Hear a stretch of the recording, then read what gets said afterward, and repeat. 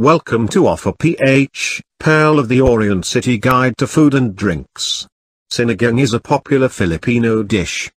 It is a sour soup that uses tamarind as its base flavor. It can be cooked with fish, meat, shrimp, and vegetables. This soup uses shrimp as the main ingredient. Instead of using real tamarind use packets of tamarind seasoning mix. Please subscribe in our YouTube channel and follow and like us on Facebook hashtag OPHIRPH. Visit our site at www.ophirph.com for more food review.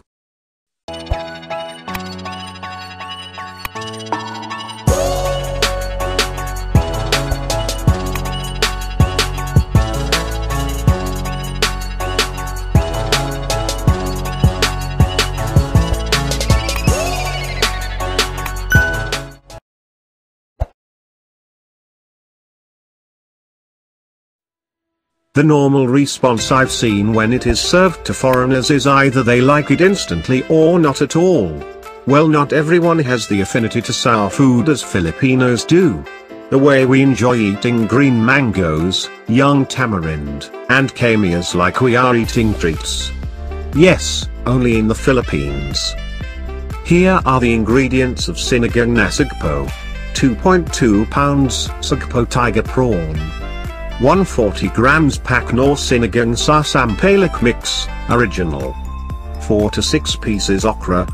12 to 15 pieces sitaw snake beans, cut in 2 inch pieces. 1 medium labanos daikon radish, sliced. 3 medium tomato wedged. 3 medium yellow onion wedged. 3 to 5 pieces siling pansigang long green pepper. 3 tablespoons patis fish sauce. 1 8th teaspoon ground black pepper. 2 quarts water. Sinigang na hipon is just one of the many variations of sinigang. It is called a different name depending on the souring agent and the meat that you are using. We also have a version where miso is added and it is usually made with fish as meat. Here are the instructions on how to cook sinigang na sugpo. First step. Pour water into a cooking pot. Let boil. Second step. Add onion and tomato. Cook for 3 minutes. Third step. Add Knorr Sinigang sa Sampaloc recipe mix. Stir. Fourth step. Put the labanos and siling pansigang into the pot. Cook for 2 minutes. Fifth step. Add the sugpo. Gently stir. Continue to cook for 5 minutes. Sixth step. Put okra and sitaw into the pot. Cook for two and a half to three minutes. Seventh step.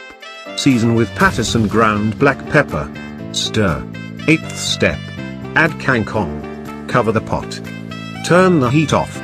Let it stay for at least 5 minutes. Ninth step. Transfer to a serving bowl. Serve. Tenth step. Share and enjoy.